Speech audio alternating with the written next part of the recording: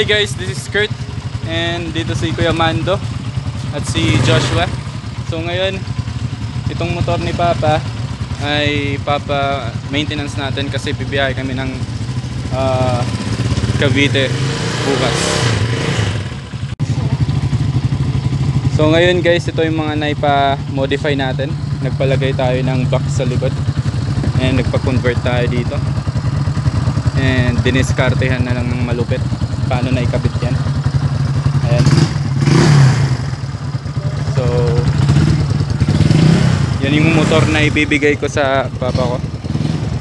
Ah, pinili ko para kay papa ko pala. Nandito. Discarding malupit. no bad, say hi naman. so as you can see guys, ayun yung sa akin. Ayun si Kuya Mando. Say hi Kuya Mando. And yung pagkakaiba lang dito sa dalawang mojo na to. Ito, may oil cooler. So yung dating may-ari niyan is barkada ko which is ginawan ko na ng vlog yung da, itong motor na to dati. Ayan oh. Converted, modified, meron ng oil cooler. Ayan guys. So yung plano namin ngayon ay magpalit kami, magpapalit kami ng kadena, magpapa-change oil and tune up na rin. So guys, ito naman kung anong itsura niya kapag stock. Ayan. So dito may takip siya sa likod kung gusto niyo maging single maging single drive ka lang wala kang back drive drive and then ganyan pa rin yung itsura niya dati nawala yung bar and sign mirror ko kasi nabasag nung natumba so ayan guys and ready na tayo sa magpre-prepare tayo para sa ride bukas off to Cavite Cavite Tansa Tansa Cavite so ayan guys ba bago mag-umpisa lahat and ito yung motor ni Papa ito yung sa akin Bu and may sasabihin si Kuya Mando ano yun? Ay sa mga subscriber. Ayan. Pasi pasabi naman, follow nyo naman ako. Si- Subscribe ano, nyo naman. Nga pala yung ano, yung anak ko, si Eliza Marie. Ayan. Subscribe nyo naman yung channel na yan. Kurt, sabi mo, sabihin mo. Paki-subscribe mo yung channel, tsaka paki-like. Ayan. Tsaka yung ano ha, yung tawag dito. ano? Bell button. so, ayan. Ore, ito siya muna muna yung rider natin ngayon dito sa Mojo 200 ni Papa ko. Dahil wala tayong ibang rider. And let's go. So yan guys, nag-park muna kami. Kukuha muna kami ng pambili nito. Para sa kadena. At para dun sa papagawa naming plate number.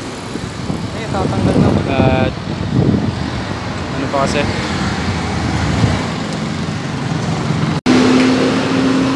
So yan guys, bumibili muna tayo ng oil at kadena para dun sa motor na isa. Kasi medyo loose na nga kadena nun. Kailangan ng palitan. So ito po. And bumili kami ng brand na choco na kadena at Shell Advance na oil para dito sa dalawa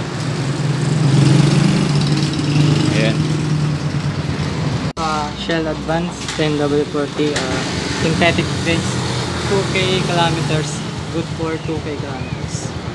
Ayan. So ayan.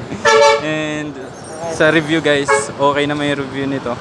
Maraming gumagamit at ayos yung mga comments nila sa mga riders na nababasa ko sa mga sa Facebook. Choco chain At itong 428 Choco brand na chain subok din. Maganda yung review nito tsaka maraming na gumagamit nito.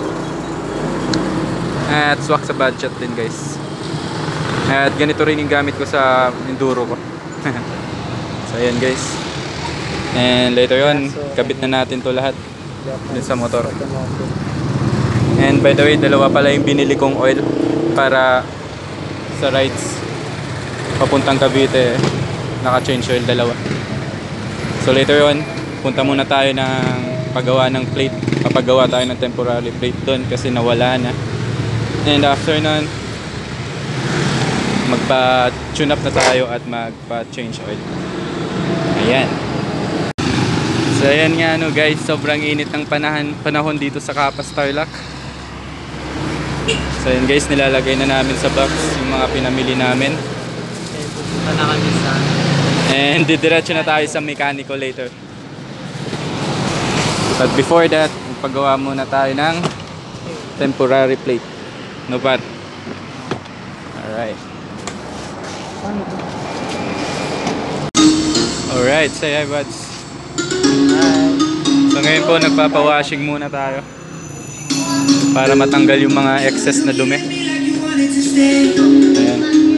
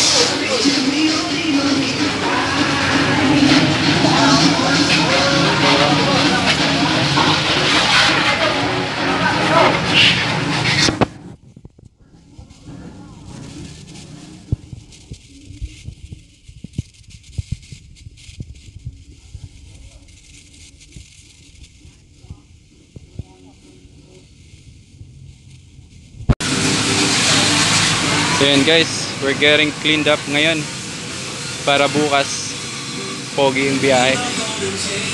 Alright. Apat.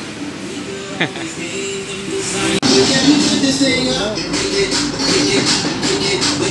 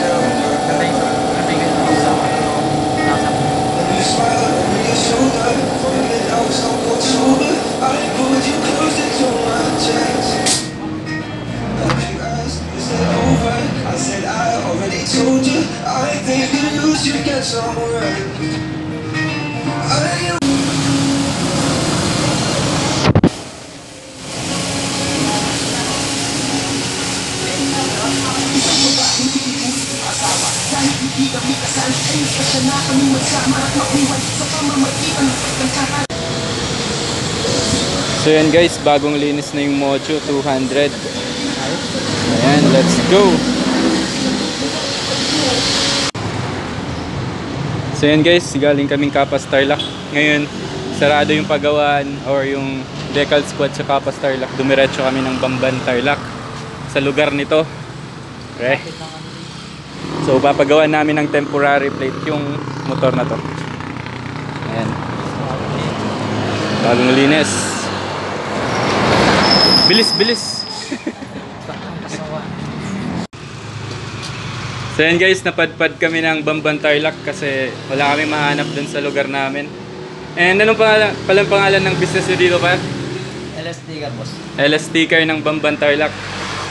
So ngayon, nagpapagawa kami ng temporary plate para walang problema. And may dala naman kaming mga papel sa rides namin bukas. So ayan na siya.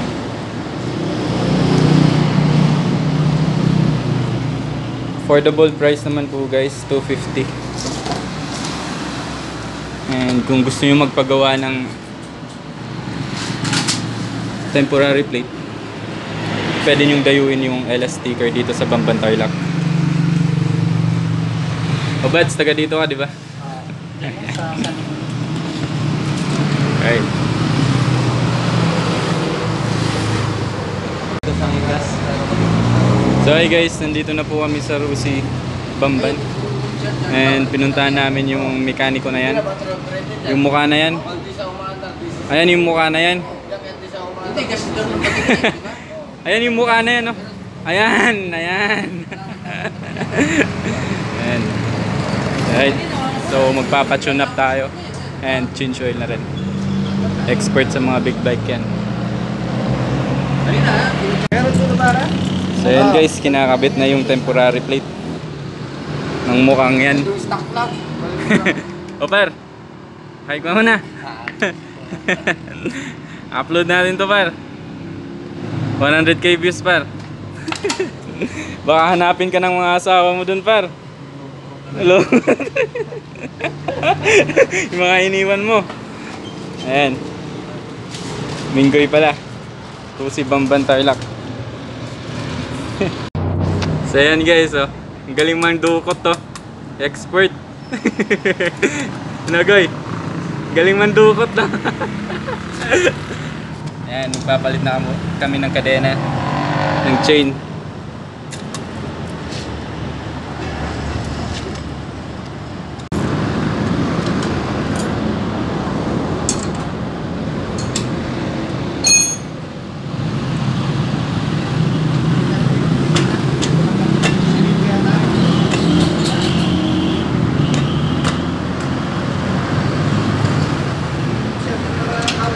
Inumin. Ano? So bibili muna kami ng inumin namin. Alright. pasok. Pasok. Ayan, nauuhaw na kami. Anong kukunin mo par? Walang. Kahit ano. Kim, ito na lang sa akin Gatorade. Yan. Kunin mo na dalawa. Kay Minggoy na lang isa. Alright. So yun guys, iniinom na ni James Reed. Ang masasabi mo par? Sarap. Refreshing. So ayan, tara. Balikan na natin yung mga babies. Ayun no, dinina-drive ng Mongoloid oh. Saan galing yun? Pagas yun. May ikot-ikot na na. Opar, kilala mo yung motor na yan ah. Oo, ito yung binili namin doon sa ABC yan. Kaibigan ko. Saan yung binili? ABC ah. Ayan? Oo. Oo nga no. Nandito. Wala na. Ayan. Okay ba? Tara. Pinalawak naman. Kinalawang na. Ayan guys. Bamban Rusi Tarlac. Ay, baliktad. Rusi Bamban Tarlac. Right. So ayan guys. Minggoy na yan. Kinuha niya yung pamputol ng kadena. Ayan guys, nakabit na yung kadena. Tune up, change oil. No par? Wala kang masasabi par. Wala. Anong masasabi mo sa mga viewers natin? Ha? Ha? Sige na! Drive safe. Nagaan yung motor. Anong masasabi mo par sa mga nagbabash ng Rusi par? Sa mga bashers ng Rusi par? Sa pag-aalaga lang naman yung mga motor eh. 'Di ba? Nasa pag-aalaga lang, 'di ba? Yung iba bash ng bash, wala naman sariling motor eh, 'di ba par? Gamit sila ng Honda, wala rin. Sira din. Lakasan mo naman par para marinig nila par. Na, Ah, ano masasabi mo par? wala ka si Rusi. Guys, nasa pag-aalaga lang 'yan. Tama tayo. Sigaw nyo. Sigarilyo agad oh. Hindi natutunaw ha. Yung hindi natutunan. so yan guys, sinutune up na natin yung motor. So natapos na i-tune up yung isang Mojo 200 na test drive na ng mekaniko kanina. Yan. So bago tayo magbiyahe, sure natin yung performance. So yun guys, tapos na po yung pag uh, maintenance namin sa motor. So ngayon, inaantay na lang namin yung mekaniko kasi tinitest drive. So yan guys, we're back sa bahay and natapos na din ang maintenance check ng dalawang mojo before kami magbiyahe papuntang Cavite.